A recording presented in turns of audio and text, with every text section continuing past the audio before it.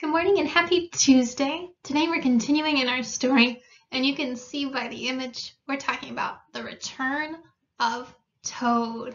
Miss Goebel thought this emoji was the perfect example because that's what I find myself doing. Anytime Toad is in our story, he's making some interesting choices. By the end of today, you will need to turn in Tuesday, September 29th, ELA. Our objective is to draft an opinion paragraph using a graphic organizer, and we'll do that at the end after our read aloud. I wanted to warm up with some sentences and fragments from yesterday's exit ticket. So this first phrase says, Toad dresses as a washerwoman. Is this a sentence or a fragment?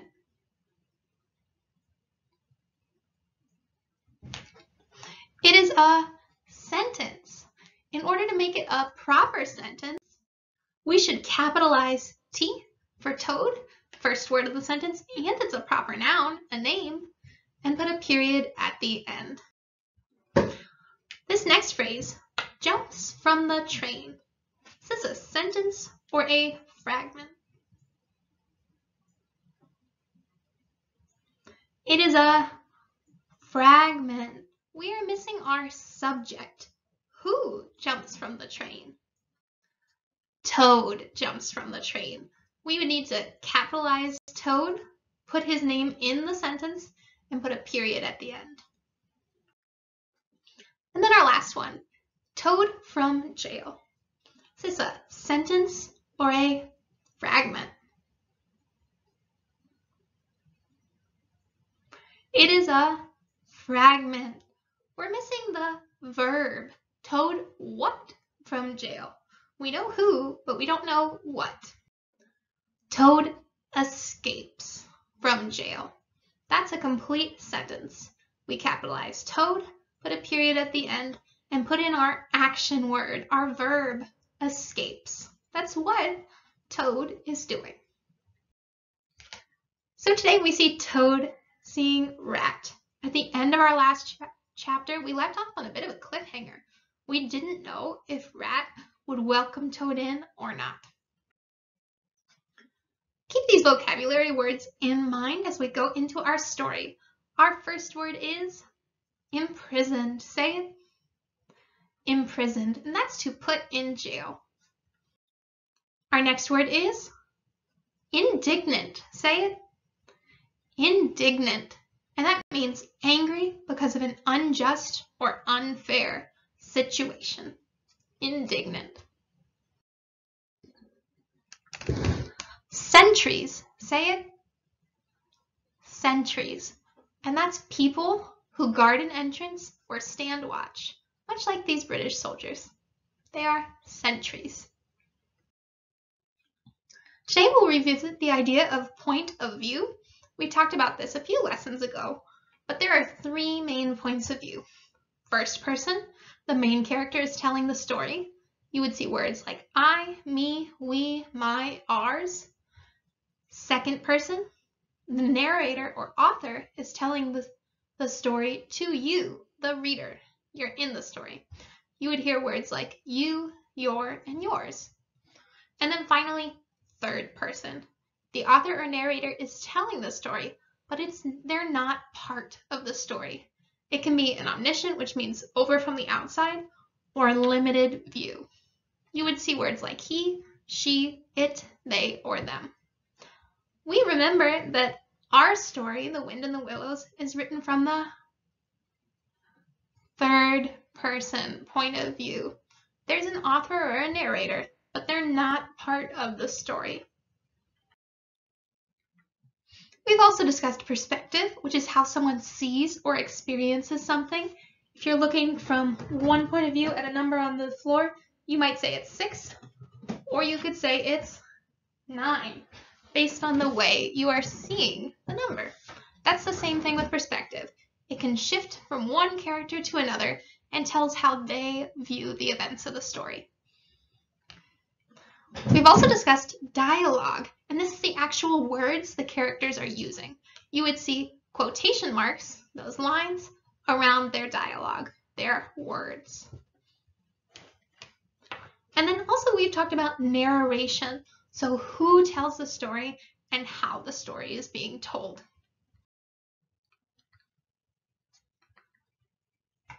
So far in our story, we have seen Toad act conceited, and it's always got him into trouble. Anytime he starts to feel full of himself, he starts to get a little bit more and more reckless. How do you think Rat is going to feel after Toad tricked him and escaped Toad Hall? We remember that he was feeling very embarrassed, especially when Badger scolded him. So do you think Rat is happy to see Toad? Probably not. You probably wouldn't like it either if a friend lied to you and tricked you. Would you be willing to let bygones be bygones, mean forget the past and be friends with them now or help them? I think even Miss Goble would struggle with that, but we know that Rat is a loyal friend. We'll have to see what happens today. Make a prediction about what you think will happen in today's story. So do you think Rat is going to help Toad or do you think he's going to turn him away? And then listen carefully and see if your prediction came true. Let's tuck on in because it's time for the story. Let's find out what happens. The rat put out a neat little brown paw, gripped Toad firmly by the gruff of the neck, and gave a great hoist and a pull. The waterlogged Toad came up slowly but surely over the edge of the hole. At last he stood safe and sound in the hall, streaked with mud and weed, and with water streaming off of him. "Oh, Ratty!" he cried. "I've been through so much since the last time I saw you." "Toad," the Water Rat said firmly, "go upstairs at once and take off that old cotton rag that looks as if it once belonged to a washerwoman. Clean yourself and put on some of my clothes. Now be off.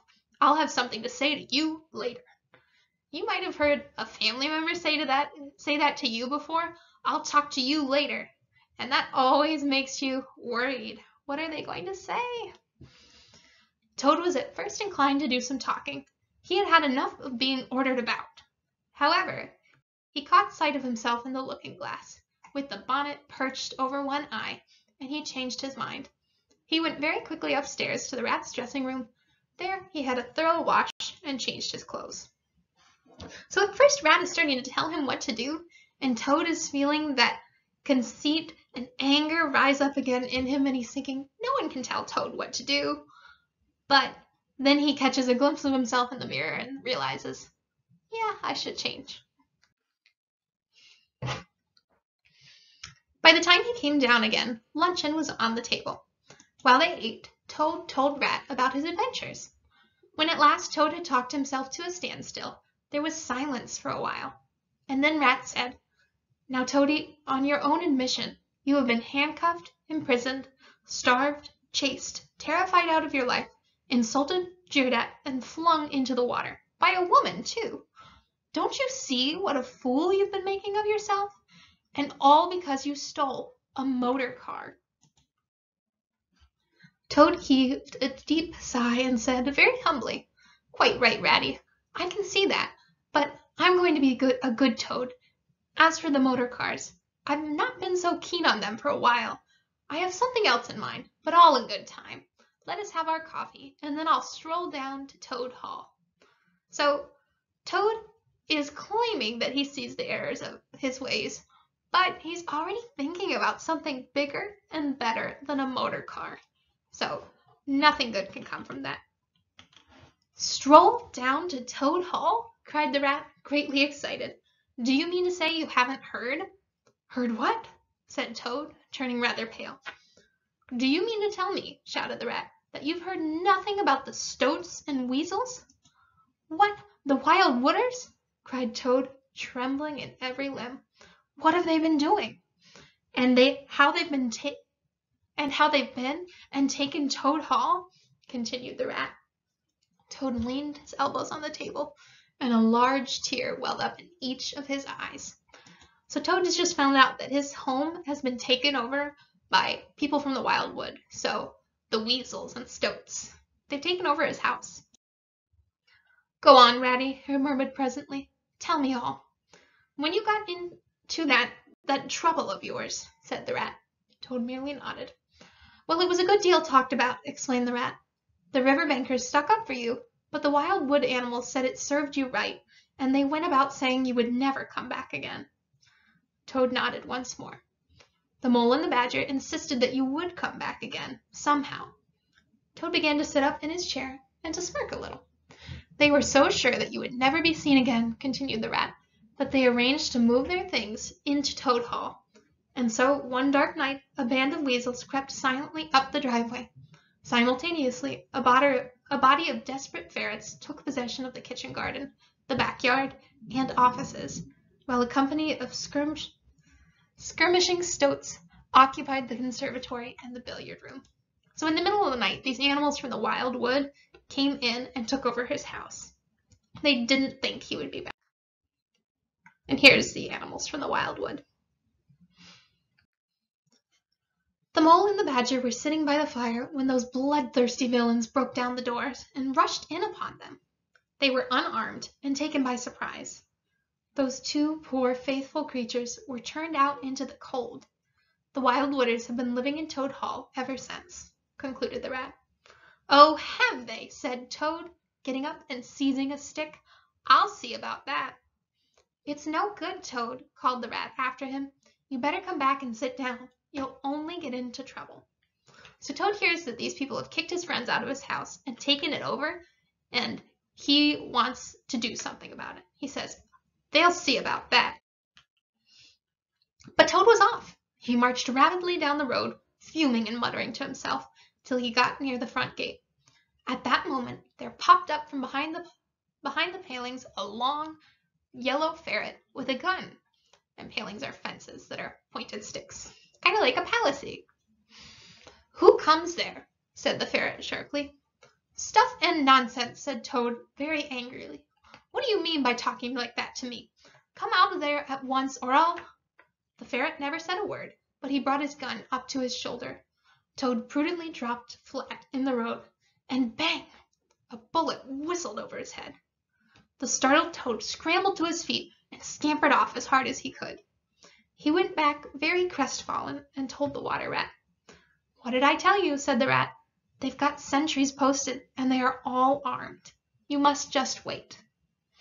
So he does not get his home back. He is confronted by an armed sentry. That's our vocabulary word, a guard and he shoots at him. Thankfully, he drops to the ground, but he does not get the house. He had to run away. Still, Toad was not inclined to give in all at once, so he got out of the boat and set off rowing up the river to where the garden front of Toad Hall came down to the waterside. Arriving within sight of his old home, he surveyed the land cautiously. All seemed very peaceful and quiet. He could see the whole front of Toad Hall, glowing in the evening sunshine. He would try the boathouse first, he thought. Very warily he paddled up to the mouth of the creek and was just passing under the bridge when crash! A great stone dropped from above, smashed through the bottom of the boat. The boat filled and sank, and Toad found himself struggling in deep water. It'll be your head next time, Toady, the stoats called out at him. Those are the stoats in the picture. The indignant toad swam to shore, while they laughed and laughed. The toad retraced his weary way on foot, and related his disappointing experiences to the water rat once more. Well, what did I tell you? said the rat very crossly. And now look here. See what you've been and done. Lost me my boat I was so fond of. The toad saw at once how foolish he had acted, he admitted his errors and made a full apology to Rat.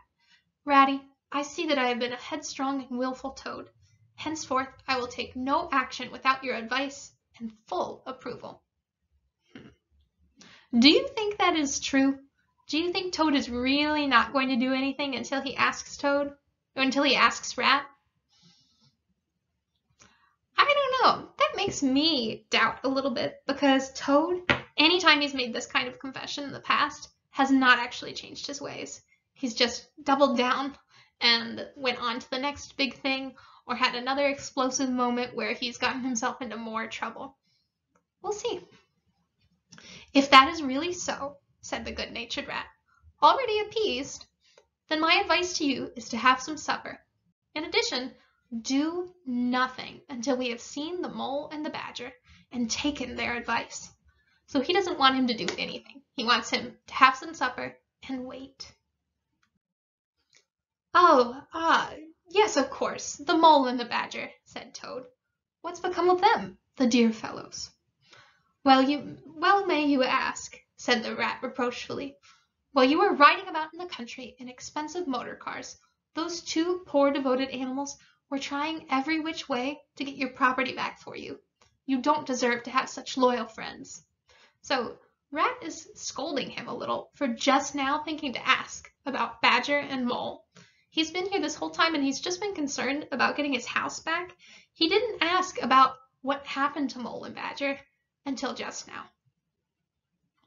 I'm an ungrateful beast, I know, sobbed Toad, shedding bitter tears.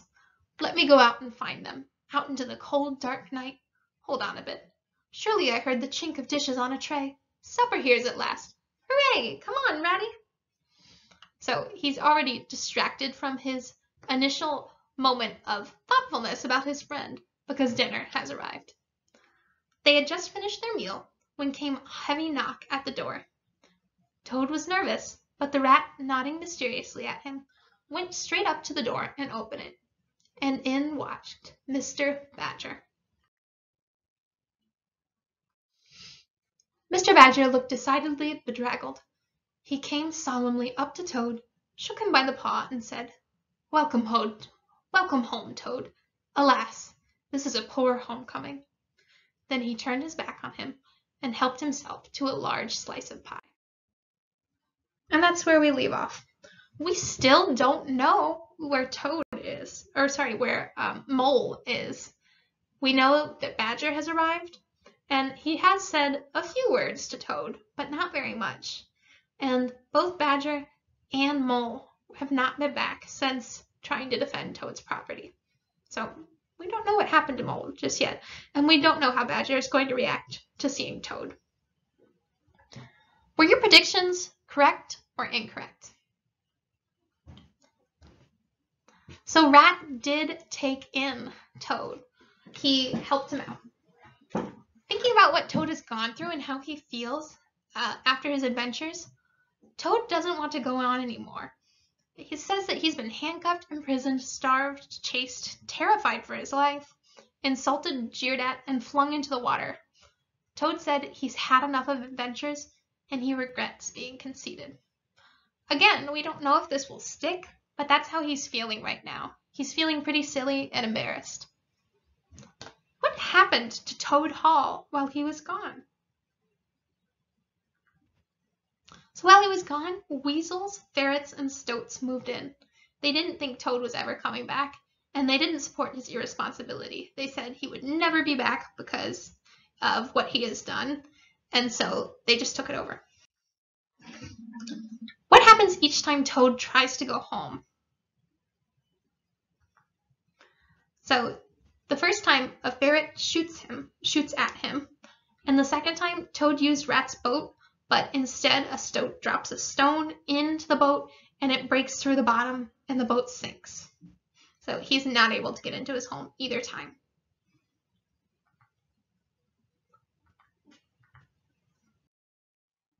All right, so today your exit ticket is not a Google form. It is just this Google document. You will all have your own copy in uh, your Google Classroom post. So this is already in your classroom post. You should be able to find it. Please, please, please be careful when typing in this document. If you erase something accidentally, hit this undo button in the top corner, and I'll highlight that for you here. It's on your toolbar. Um, right at the top of your document, you can see a back arrow and a forward arrow the one that points the left backward, that is the undo button. So if something goes wrong, just hit that. What you're going to do, you're going to rewrite three complete sentences stating examples of when Toad was irresponsible. This is our final draft, so take your time. Yesterday we did write three sentences of when Toad was irresponsible, so think back to that submission If you want to pull it up, you can. Um, if you've already submitted it, you should be able to edit after submit. So if you want to pull up yesterday's Google form and look at it, you can, or you can go off of memory. You must use complete sentences. I already started each sentence for you. First, next, finally. You can say first, an example when Toad was irresponsible is when he stole a motor car. Next, he ended up in prison and decided to escape rather than serving his sentence. Finally, when the police begin to approach him, rather than turning himself in, he continues running. As you can see, Toad is extremely irresponsible. Or you can restate the topic sentence and say, as you can see, Toad demonstrates the theme of irresponsibility, period. So make sure you fill in all of these boxes. TS means topic sentence. That's the topic of our paragraph. And I've already written that one for you. The topic is, in my opinion, Toad demonstrates the theme of irresponsibility. Your job today is to fill in the middle three detail sentences and write a conclusion sentence that wraps up the paragraph. So, as you can see, Toad is extremely irresponsible. Something like that. You'll find this under Tuesday, September 29th, ELA. It is labeled Opinion Writing. Under week 4, September 28th through October, October 2nd, click on Tuesday, September 29th. And when you're done, don't forget to turn it in. Today you won't have a you won't have a submit button on the actual assignment. You will simply exit out of the document, go back to Google Classroom and hit turn in. That's how I'll see your work. Do not turn it in blank. And that's it. Have a great day. If you haven't need any help, please call or text me. Bye.